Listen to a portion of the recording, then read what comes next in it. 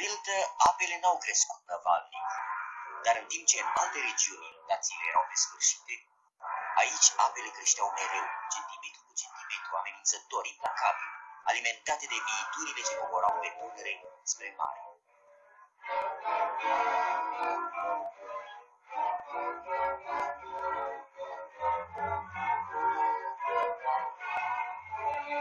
De trei ori mi-am luat aparatul de filmat și am venit aici, în satul Mila 23. Și de trei ori am găsit apele ridicate care inundau străzile, curțile, casele.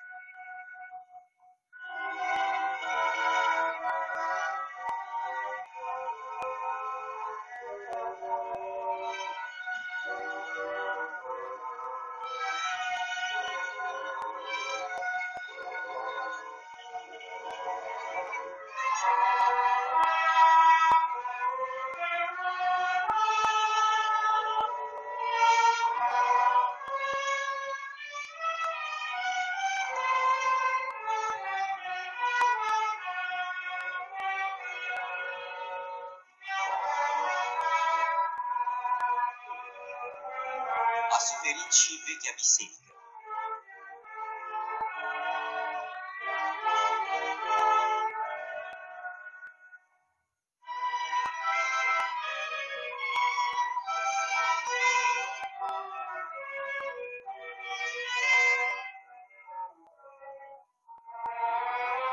Icoanele mâncate de cari și cărțile cu slove vechi scoase la lumina soarelui erau portate peste ape spre locuri mai ferite.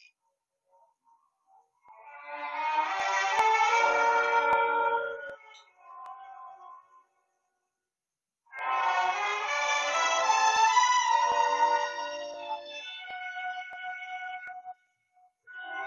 vorbit cu mulți oameni.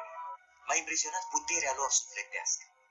Spuneau că sunt obișnuiți cu inundațiile, că se gândesc mai mult la cei de la șes, care nu au mai cunoscut niciodată urgia apelor revărsate.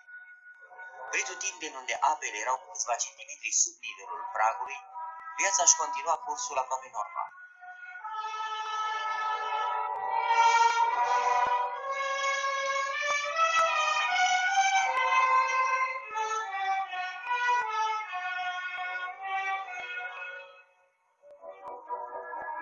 Un pescar bătrân mi-a mărturisit că oamenilor din sat le-a fost greu, tare greu să înfrunte revărsarea apelor din acest an, dar au rezistat.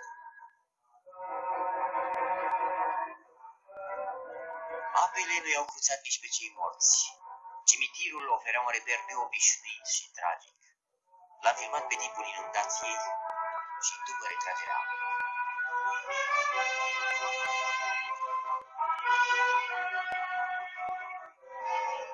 Odată cu venirea verii, apele au început să scape.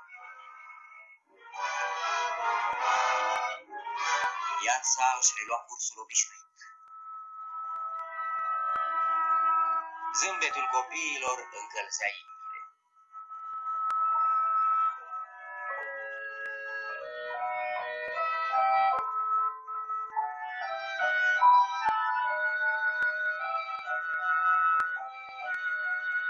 La Mila 23, copiii învață să văslească de la 3-4 ani.